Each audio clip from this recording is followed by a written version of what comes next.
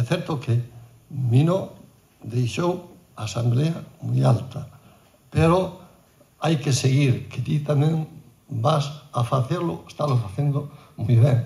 Así que un aplauso para Maribel.